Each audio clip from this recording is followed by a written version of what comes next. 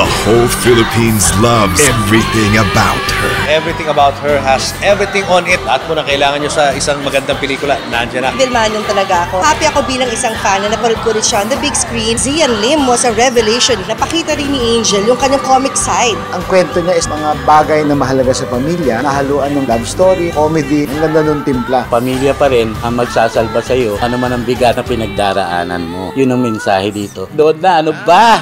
Ang bagal! Now on its third Blockbuster Week! You got something